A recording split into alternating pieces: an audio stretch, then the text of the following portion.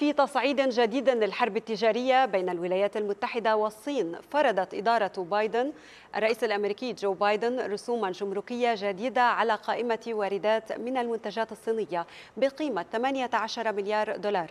أبرز ما تضمنته القائمة رفع الرسوم الجمركية على أشباه الموصلات والخلايا الشمسية والمعادن المهمة.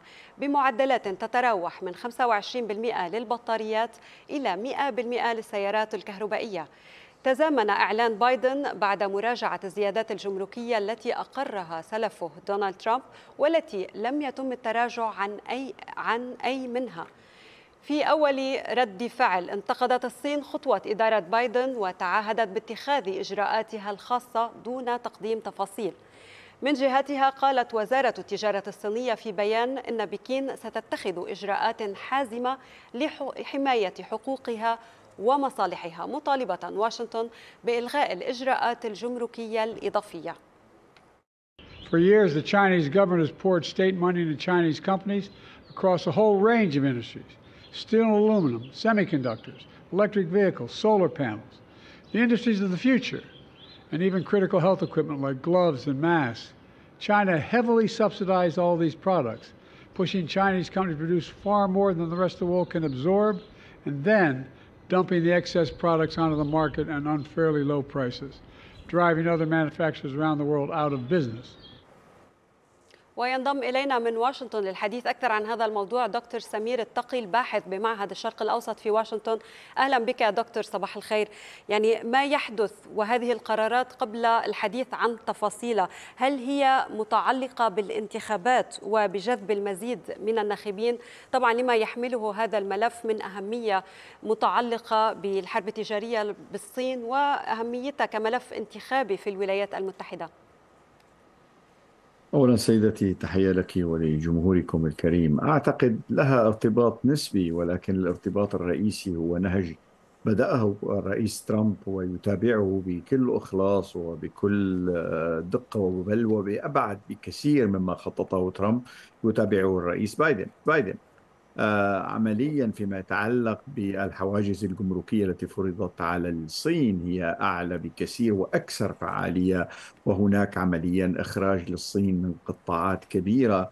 من عمليات من المستوردات التي كانت تستوردها الولايات المتحدة الأمريكية بل وأيضا فيما يتعلق بالعديد من النتاجات المتعلقة بالبرمجة والعديد من القضايا المتعلقة أيضا بتصدير التقنيات العالية وخاصة فيما يتعلق بالرقائق الإلكترونية المتقدمة جدا أو الرقائق الإلكترونية ذات المستوى الرابع.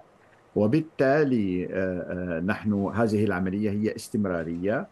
لابد أن قد يكون لها بعد انتخابي جانبي ولكن محورها هو أن الولايات المتحدة قررت عمليا أن تدخل في عمليات حمائية متتالية ضد الصين عمليا تؤدي إلى مراجعة كاملة لكل عملية العولمة التي تأسست بعد عام 1945 في ومنظمة التجارة العالمية. لذلك نحن نشاهد الآن تغير كامل في المناخ التجاري العالمي بناء على هذه الإجراءات. يعني هو ما يطرح هذه التساؤلات ربما متعلق بالتوقيت هذا التوقيت تحديدا لحركة آه، بايدن. على كل حال إلى ما أي مدى ترى أنه ضرائب إدارة بايدن هذه تحديدا على السيارات الكهربائية الصينية ستدعم الشركات المنافسة في الولايات المتحدة؟ وهل يمكن اعتبار أنه بايدن أنقذ هذه الشركات وسد الفجوة في المتعلقة بالميزة التنافسية التي تتمتع بها الشركات الصينية طبعا آه، من خلال السبسيديز الدعم الحكومي الصيني. آه بالضبط يعني أعتقد الكلام دقيق جدا والأهم من ذلك أيضا أن هناك مصلحة الانتخابية هنا لبايدن في أن آه، يرضي النقابات العمالية التي كانت مستاءة بسبب قيام رجال الأعمال الأمريكان بالتوظيف في السوق الصينية. عملية ال repatriation يعني إعادة توطين الصناعات الأمريكية فيما يسمى آه، ال Rust Belt أي يعني حزام الصدأ وهي المنطقة الصناعية التي نشأت خلال الحرب العالمية الثانية واستمرت حتى منتصف الثمانينات إلى أن تم تصدير هذه الصناعات. الآن هناك عملية تصنيع هي من أهم عمليات إعادة التصنيع في تاريخ الولايات المتحدة الأمريكية. في كل المجالات يعني في رأيي أن هذا هذا التوجه بالذات ربما له بعد انتخابي رئيسي وله بعد أيضا وطني قومي رئيسي فيما يتعلق بإعادة آه، موقع الولايات المتحدة الأمريكية فيما يتعلق بإنتاج الصناعات التقليدية آه، الميكانيكية والكهربائية التي سبق أن تخلت عنها، إضافة طبعا لمواضيع ال high tech التقنيات العالية والقضايا المتعلقة أيضا بالاستثمار في آه، الاستثمار في الطاقة. ولذلك في اعتقادي هذا هذا الميل هو ميل أصيل بعيد الامد وسيستمر بشكل قوي وجزء من أجندة بايدن في اكتساب النقابات التي خسرها لفترة معينة لصالح ترامب هو هذه العملية الريباتريشن أي إعادة تأصيل وتوطين الصناعات هذه العملية هي أكبر من العملية التي تمت لبناء الصناعة بعد الحرب العالمية الثانية نعم.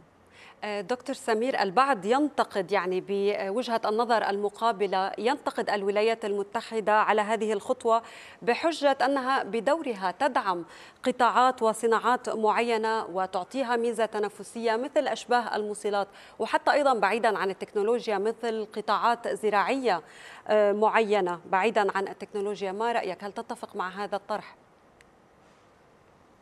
يعني آه، بلا شك بأن آه، قضية من يخالف آه، فيها لعبة البينج بونج هذه من خالف أولا هي لعبة لا تنتهي. ولكن جوهر الموضوع هو أن الميل لتفكيك وتحويل العولمة الراهنة إلى نوع من الحويصلات الاقتصادية الاستراتيجية المتكاملة. عملية بدأت عمليا منذ أيام ترامب ولكن أخذت شكلها النهائي بتلك التحالفات المهمة جدا التي نشأت بين اليابان كوريا بين هولندا ألمانيا والولايات المتحدة الأمريكية مع بريطانيا. في رأيي الآن نحن نشهد إعادة هيكل العولمة ليست قضية فقط بأن آه، من من خالف أولا طبعا الأمريكان لديهم ما يقولونه فيما يتعلق بسرقة البراءة الاختراع، فيما يتعلق بان آه، الصين لا تزال تتخذ تدابير حمائيه شديدة لسوقها، ان فيما يتعلق بالتدابير المتعلقة بعدم ربط الين بشكل حر في الأسواق، كل هذه العمليات هي تخالف موضوعيا قوانين التجارة العالمية. ولكن من حيث المبدأ آه، في رأيي أن الاتجاه العام يتجاوز هذا النقاش وينتقل إلى قضية أننا سنشاهد عملية تحوصل أو عملية تكتلات تتنافس بشكل رئيسي فيما نعم. يتعلق سواء براس المال المالي أو فيما يتعلق بسلاسل التوريد أو فيما يتعلق بالطاقة أو فيما يتعلق أيضا بالأسواق. الشق المقابل متعلق بالمخاوف من رد الفعل الصيني على هذه آه، التعريفات الجمركية، ما هي السيناريوهات وأي قطاعات برأيك ستكون مستهدفة وكيف سيكون يعني الرد في هذه المرحلة؟ أعتقد الرد الأساسي سيكون في مجال آه، الزراعي حيث آه، الولايات المتحدة عمليا تصدر كميات كبيرة من المواد الزراعية للأعلاف ولعمليا إنتاج اللحوم في الصين. هناك الجانب الآخر المتعلق أيضا بقضية الصادرات الأمريكية من بعض التقنيات المنخفضة.